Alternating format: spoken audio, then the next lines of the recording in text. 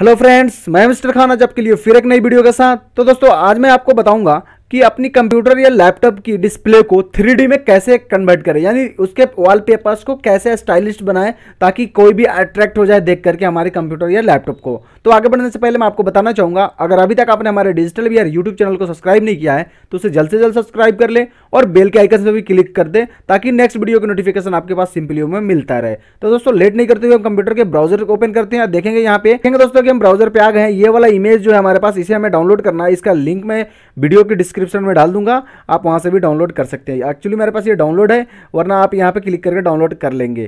तो दोस्तों, इसको मैं मिनिमाइज कर देता हूँ और और दोस्तों, ये रहा हमारे पास इमेज इस इमेज को हम पहले अपने डेस्कटॉप की बैकग्राउंड पर लगा लेते हैं। देखेंगे यहाँ पे सेट एज पे क्लिक करेंगे, यहाँ पे लिख रहा है सेट एज बैकग्राउंड इस पर हमें क्लिक कर दिया।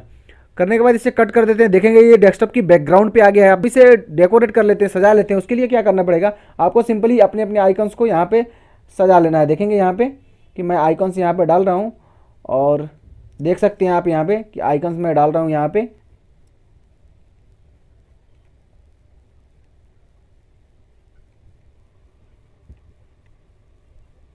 तो देखेंगे दोस्तों, हमने इसको सजा लिया है बहुत बढ़िया तरीके से। देखेंगे कि थ्री एकदम लग रहा है, ऐसा लग रहा है कि घर है हमारा कोई। और दोस्तों, इससे भी बेहतरीन बनाना है, अगर आपको इससे भी अच्छा बनाना है तो क्या करना है, इसको रीनेम कर देना है। इसके कैसे करेंगे?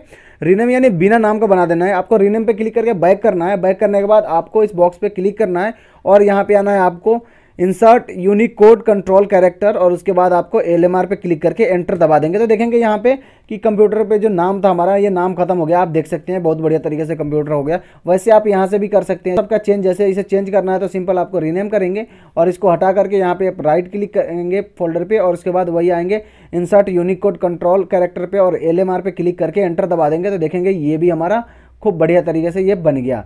और सबका नाम हटा देंगे, फिर वैसे ही करेंगे हम यहाँ पे राइट क्लिक करेंगे और उसके बाद यहाँ इंसर्ट यूनिकोड कैरेक्टर पे क्लिक करेंगे और एल एम पे क्लिक करके एंटर कर देंगे तो ये भी बिना नाम का हो जाएगा। तो यहाँ पे देख सकते हैं कि टोटली बिना नाम का हो गया है दोस्तों। तो ऐसे करके आप इसको बहुत ही बढ़िया तरीके से इसको सजा सकते हो डेकोरेट कर सकते हो। तो दोस्तों, उम्मीद करता हूँ कि मेरी वीडियो आपको पसंद आई होगी तो लाइक और शेयर ज़रूर करें, हमारे चैनल को सब्सक्राइब करें। थैंक यू फॉर वॉचिंग दोस्तों हैव अ नाइस डे